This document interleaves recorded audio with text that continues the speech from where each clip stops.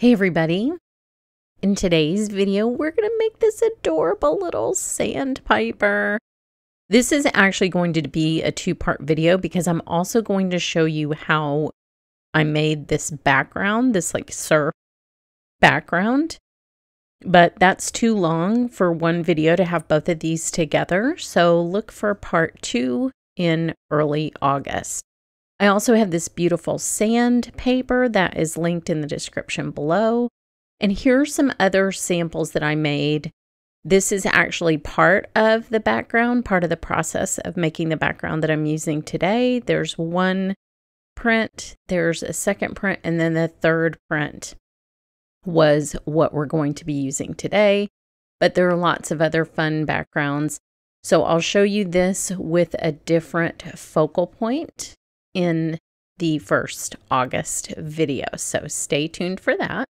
It's going to be really fun. But today, we're going to make a little sandpiper running on the beach with just these two pieces of paper.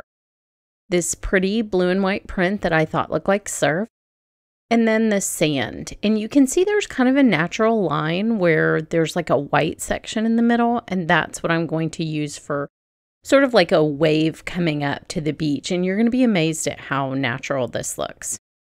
Now, if you want to cut it, you can do that. I'm just going to tear it along that white line. And if you tear down, you will not get that exposed center of the paper white edge. And if you tear up towards yourself, you will. So I didn't want that. So I tore down and I just gave myself kind of a diagonal like I always do on all my beach scenes. I'm so predictable. I don't know why.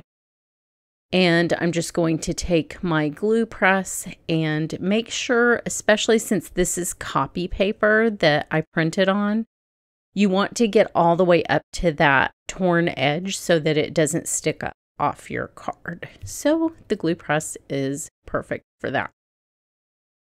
So I will put this down on, this is just a regular card panel, just a five and a quarter by four piece of the sand paper.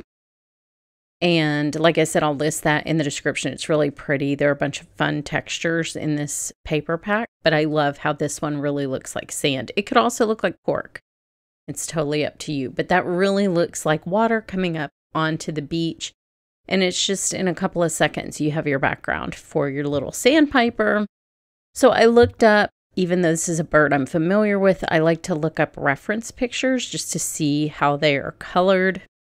And you'll notice that he's really mostly white, but he has some brown little tan patches. And he also has these like very dark, kind of spotty almost feathers and his legs are kind of dark. So I'm going to color his eye, which is that tiny little circle you see above, his beak and his legs with a black marker.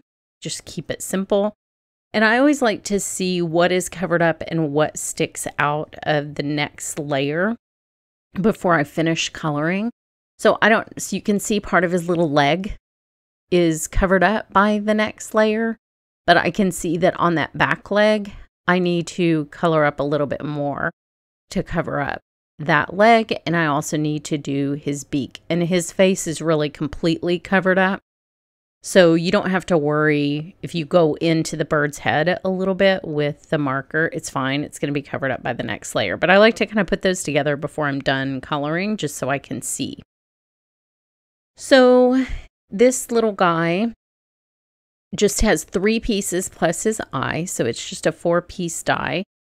And this top section has all the detail on it. And that's kind of where the color on a sandpiper is focused, is on that top part. So I'm just going to do some really gentle sort of blending.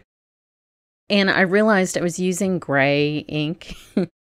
and I realized sometimes I just don't get my brushes all the way clean. I don't know what it is. Like I use brush soap and everything. It's just, I don't know if it's certain kinds of ink or what. And I'm not really good about separating the colors. So I switched brushes here so that I didn't have a yellow gray bird and just very, very gently put a little bit of gray. There isn't much color on these birds at all, which is one of the things that's going to make this die such a fun and easy one to put together, especially if you have anybody who lives by the beach or likes to go to the beach. This would be such a cute little card. Or you could put him on a tag. He's just cute. Okay, so then I have the little brushes from Honeybee, the little detail brushes.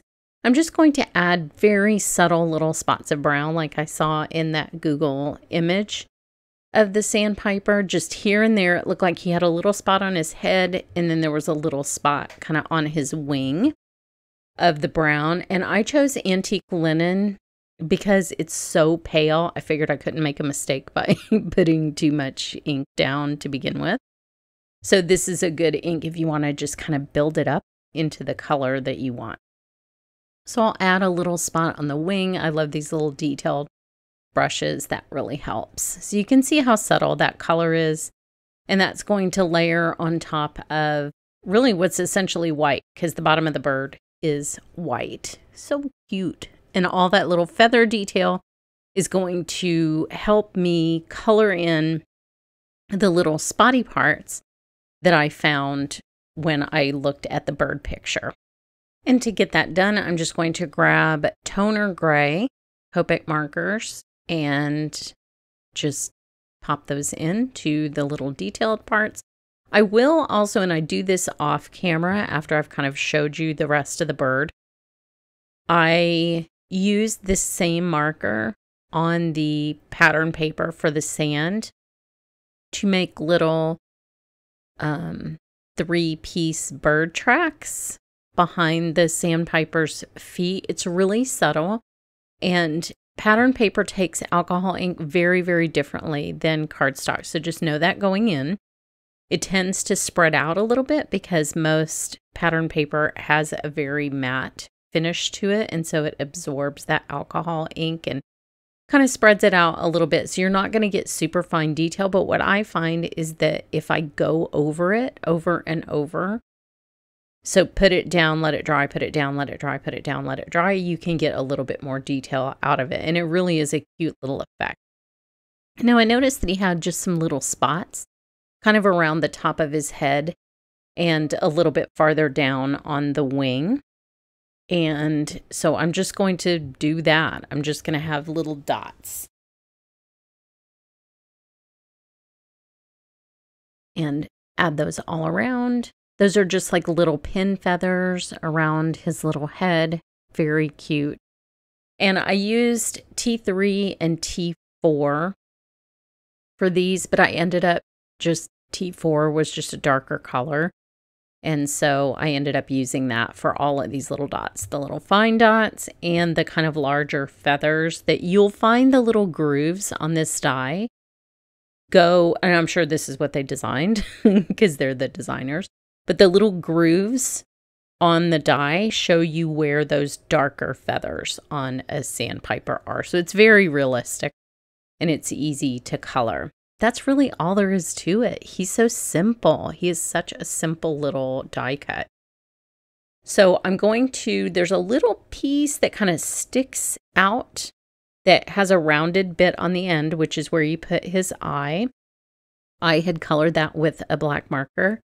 And so I just put it, it's like a little peninsula on his head. So you just put the dotted glue. I find it easier to put the glue on those little small pieces and then use my crystal katana to pick that up and add it instead of trying to put the glue on the back of something that's so small. Even with the glue press, I think that's a little bit of a challenge. So now I will put the bottom two pieces together and I like to just line them up once I have the glue on there. That's one of the great things about glue. And look how cute he is already.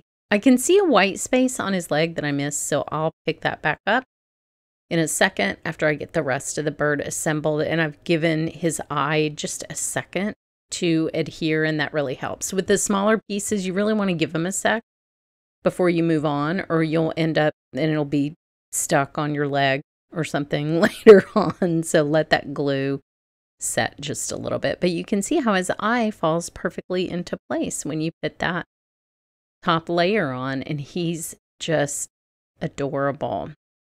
So I'll press all his little layers together squish them up if they need to be moved up a little bit, and then I can show you what he looks like. He's so cute. Look how adorable he is. I love that little sticky outy part where his eye goes. But like I said, I have those white spaces on the edge, and that drives me crazy, especially when I put it on a lighter background like I'm putting it on.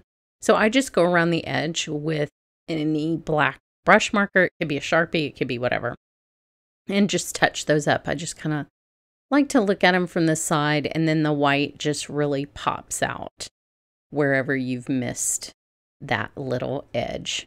And there he is. He's so cute. So I will put him on the beach so you can see. You can put him down here where he has a little more contrast with the sand.